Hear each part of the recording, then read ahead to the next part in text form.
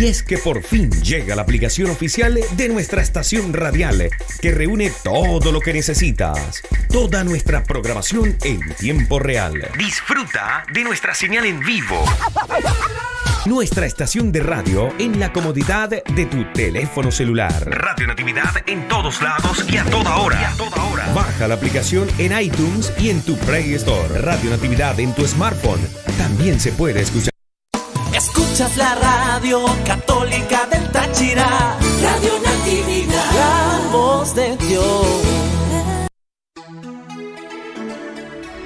Este es un programa mixto, en horario todo usuario, el cual no requiere la supervisión de sus padres, madres, representantes o responsables. Es una producción nacional. ¿Usted se siente triste, preocupado y no sabe cómo disfrutar de paz en su corazón, en su familia? Entonces les invitamos a escuchar Consuelo de los Afligidos con la hermana Fanny Quiñones por Radio Natividad.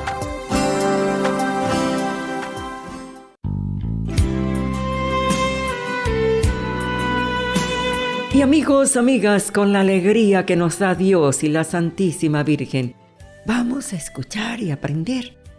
Un día en un campo iba un señor con un jovencito, caminando así.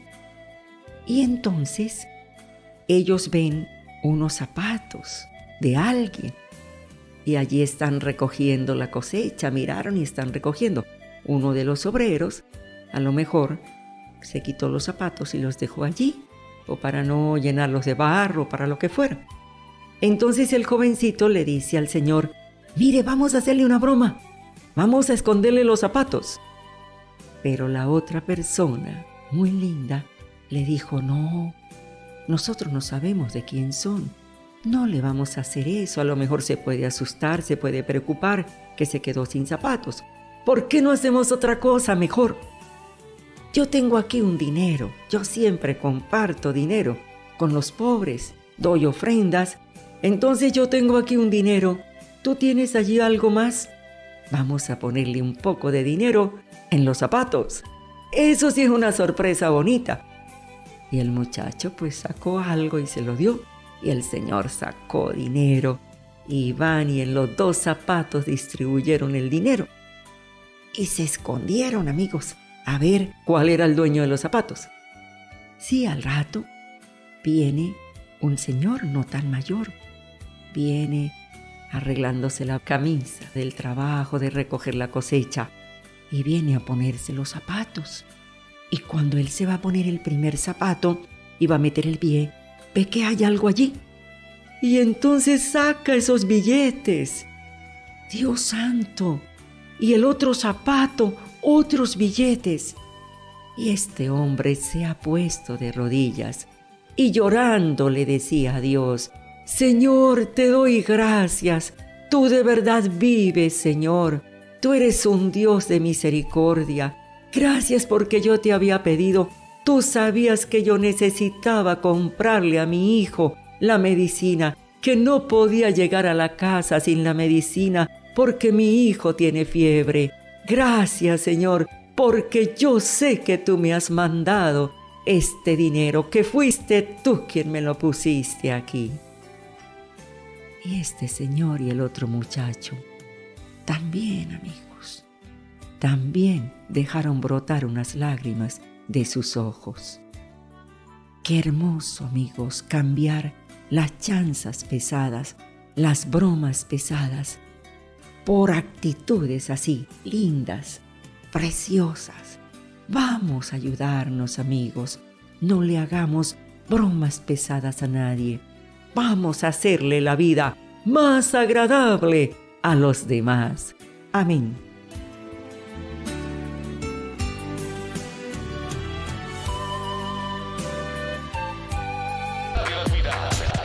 101.7 FM en San Cristóbal y 95.7 FM en la zona norte. Seguimos proclamando la buena nueva al mundo.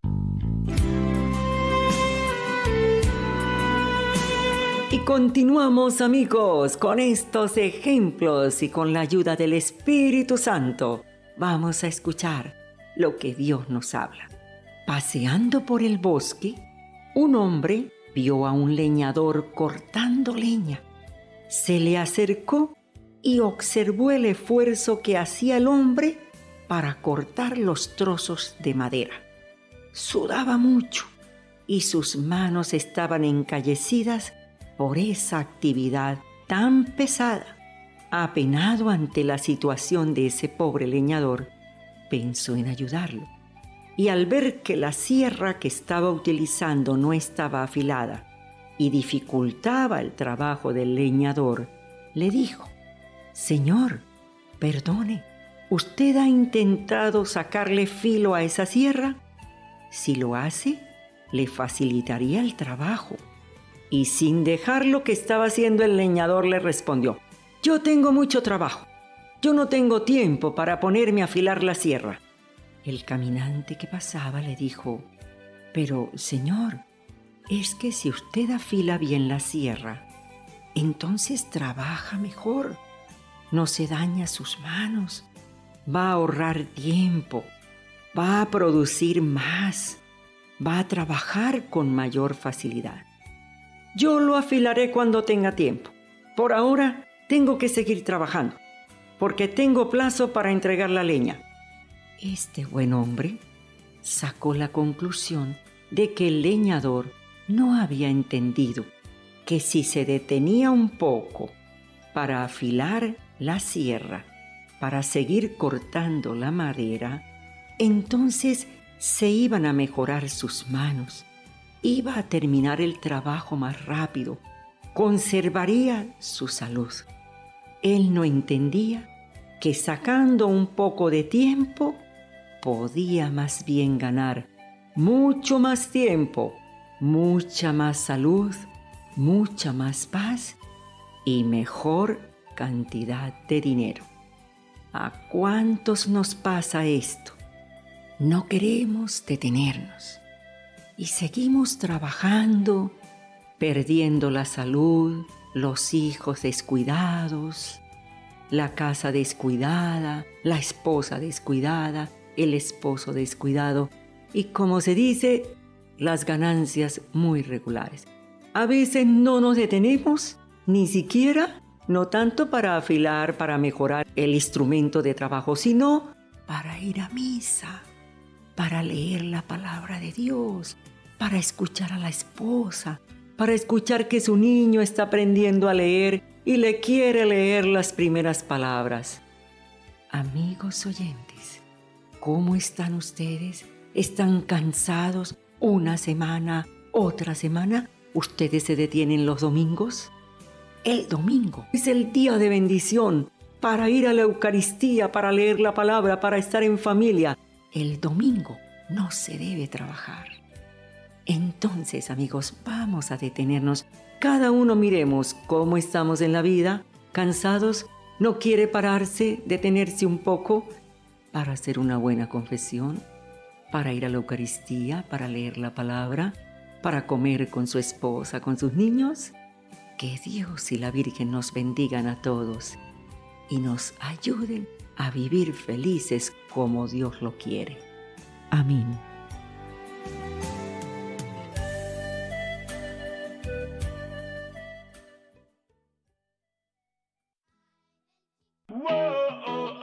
Frecuencia 1017, sonando y sonando, sonando en todo el mundo. Radionatividades.com, radionatividades.com, porque somos la voz de Dios y tú eres parte de él.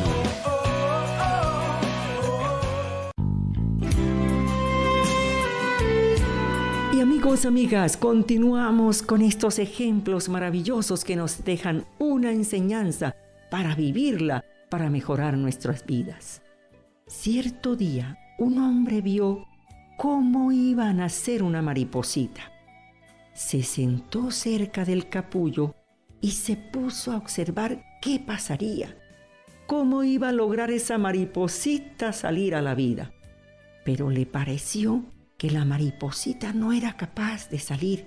Entonces, él con un buen corazón decidió ayudarla. Tomó unas tijeras y rasgó lo que quedaba del capullo. la mariposa pudo salir con toda facilidad, pero su cuerpo estaba marchito. Además, era muy pequeña y tenía las alas arrugaditas. El hombre siguió observando, porque esperaba que en cualquier momento las alas se iban a desplegar para soportar el cuerpo de la mariposita y entonces así se iba a fortalecer para poder volar. Pero no pasó nada. La mariposa pasó el resto de su vida con el cuerpo marchito y las alas encogidas. Nunca pudo volar. Lo que el hombre, por su bondad y su buena voluntad, quiso hacer de ayudar a la mariposita a que naciera, no le resultó bien, porque ese esfuerzo lo necesitaba la mariposita para que sus alas crecieran, para que el fluido de cuerpo de aquel pequeño insecto circulara por sus alas y así quedara listo para volar después de librarse de aquella envoltura que era el capullo. Entonces, amigos oyentes, vamos a explicar un poquito. Este hombre bueno se acercó y vio una mariposita que iba a salir del capullo. Y a él le pareció que la mariposita le costaba trabajo. Entonces buscó unas tijeras, rasgó lo que quedaba del capullo, ayudó a salir la mariposita. Pero ¿qué pasó?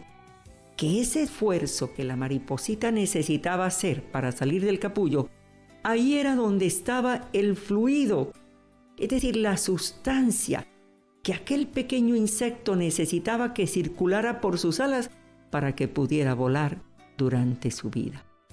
Entonces amigos, a veces a nosotros nos pasa también cosas parecidas.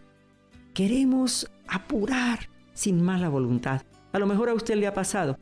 Usted quiso apurar a alguien o quizás castigó un hijo, una hija. Amigos oyentes, y resultó mal. ¿Cuántas veces le damos un regaño castigamos a alguien para que haga las cosas mejor? Y ese regaño, ese castigo, detuvo la vida, la alegría, la paz de esa persona. Y esa persona a lo mejor siguió creciendo triste, angustiado, preocupado o nunca olvidó ese regaño. Bueno amigos, si a ustedes a lo mejor les ha ocurrido algo parecido de haber querido ayudar, forzó una situación, entonces pues vamos a pedirle la ayuda al Espíritu Santo, miremos con la ayuda de Dios cómo pudiéramos arreglar y si fue a nosotros, a ustedes que les sucedió eso, o alguien actuó de una manera parecida con ustedes, pues también vamos a perdonar. Amén.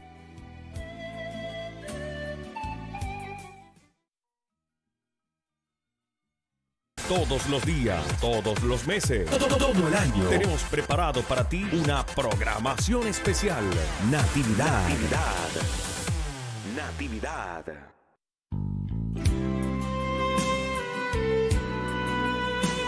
Y amigos, amigas, Dios nos invita a perdonar, a pensar.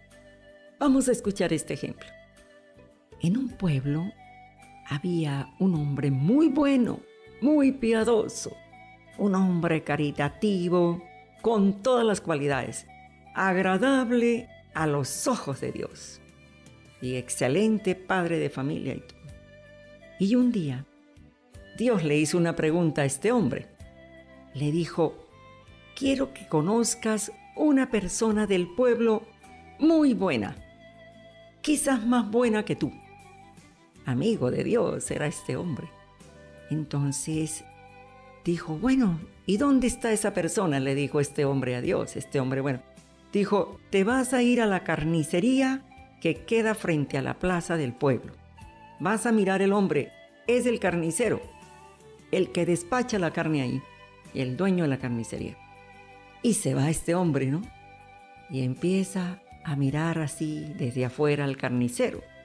y vio que el carnicero despachaba muy serio, pesaba, despachaba, recibía la plata. Bueno, y decía, pero ¿qué le verá Dios a este hombre que dice que es muy bueno? Al otro día volvió y vio a lo mismo al hombre. Entonces dijo, pero yo no le veo nada de especial, pensaba. Otro día le dice él al carnicero, amigo, ya lo esperó a la salida. Yo quisiera acompañarlo a su casa, ¿usted cómo se llama y tal? Ah, yo me llamo así. Si quiere vamos a la casa, le dijo el carnicero. Es que yo tengo allí un viejito y justamente ya es la hora de darle la comida. Entonces lo llevó a una casa muy sencilla. El hombre lo mandó sentar y le dijo, mire, espéreme aquí un poquito que voy a calentarle la comida al viejito, voy a dársela, él está ahí en el cuarto. Bueno, le dio la comida, permitió que entrara para que lo viera. Entonces resulta que el hombre comió, el viejito comió y él le limpiaba la comida que le caía y todo. Y después se quedó así, mirando. Entonces salió el carnicero y lo volvió a mandar a sentar en la salita y le dijo, mire, le voy a contar una cosa. Usted ha venido hoy a mi casa. Este viejito casi nadie sabe que está aquí. Mire, este viejito hace bastantes años mató a mi padre. Era un hombre joven. Mató a mi papá. Yo no tenía sino a mi papá y me mató, me quitó lo único que yo tenía. Y yo había prometido que donde yo lo encontrara, yo lo iba a matar. Pero un día, este hombre regresó aquí al pueblo y venía no tan enfermo ni tan viejito como está. Pero Dios en mi corazón me dijo que lo perdonara, que lo ayudara, que me lo llevara para mi casa. Y yo hace años que lo tengo aquí. Y lo ayudo, y le compro la medicina, y lo atiendo, y lo quiero ayudar hasta el último día de su vida, porque yo le prometí a Dios que lo iba a perdonar. Amén.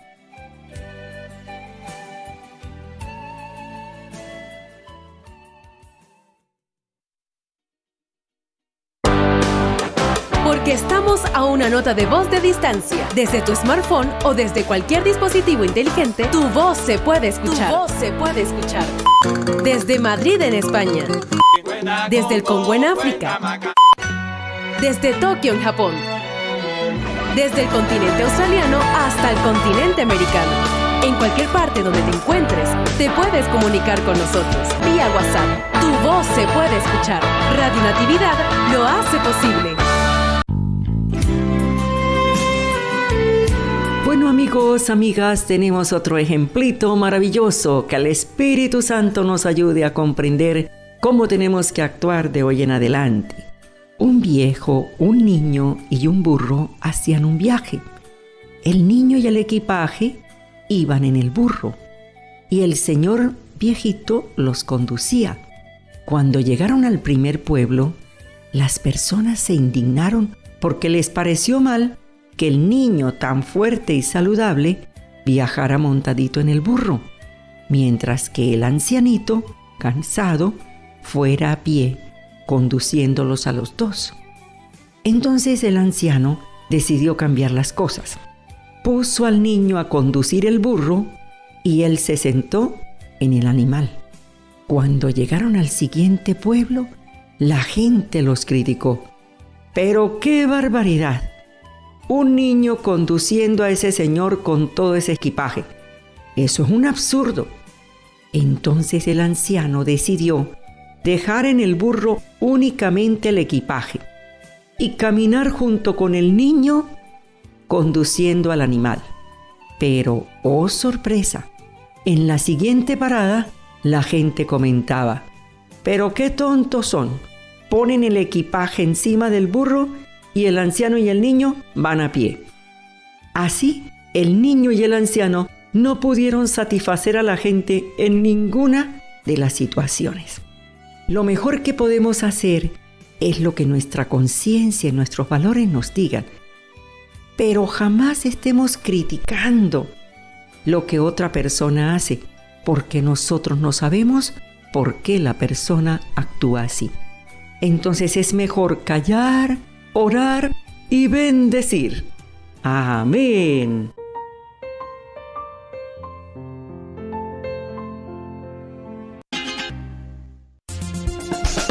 Radio Natividad. Natividad, Natividad, Natividad, Proclamando la buena nueva. Proclamando la buena nueva.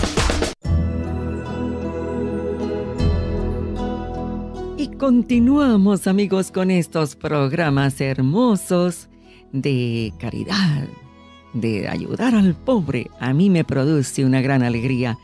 Y este texto que está en los Hechos de los Apóstoles, amigos, Allí en los Hechos de los Apóstoles hay algo maravilloso en el capítulo 9 de los Hechos de los Apóstoles. Dice, se comenta, en la ciudad de Jaffa o Jope en Israel, había una mujer que dedicaba sus bienes a socorrer a los pobres. Se llamaba Tabita. Y sucedió que al morirse esta generosa mujer, comenta el autor de este libro, los pobres que ella socorría dispusieron organizarse como en una especie de sindicato de súplicas y enviaron una embajada a San Pedro para que viniera a consolarlos.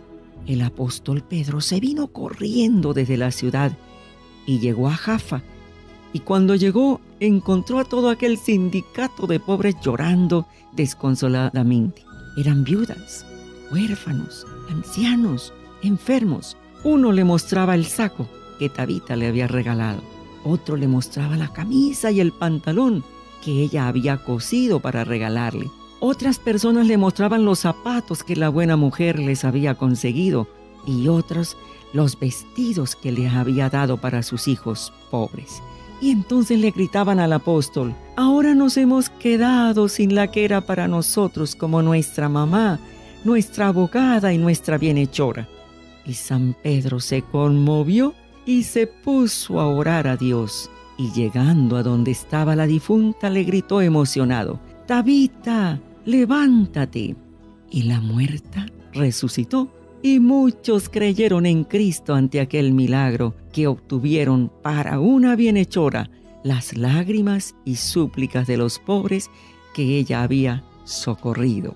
Qué hermoso, amigos. En el libro de los Hechos de los Apóstoles, en el capítulo 9, podemos conseguir esa lectura. Esta mujer tan buena que hacía todas estas obras de caridad. Fíjense, cuando murió, así serían las obras de caridad que hacía, entonces se fueron, mandaron a buscar a Pedro. Vaya, la gente llorando. Ese sindicato de pobres que dice allí, la gente llorando, amigos, porque se le había ido esa bienhechora, que les regalaba vestidos, que les regalaba zapatos, que los ayudaba. Y ante eso, ¿qué hizo Pedro? Oró, viendo que toda esa gente se sentía triste por esta señora. Oró y logró que Dios le devolviera la vida. Uy amigos, Hechos de los Apóstoles, Nuevo Testamento después de los Evangelios, capítulo 9.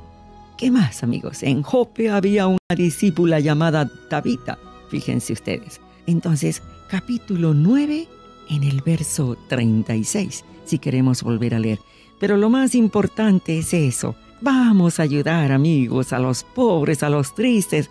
Vamos a dar sin calcular, claro, con prudencia. Y Dios también nos dará sin calcular.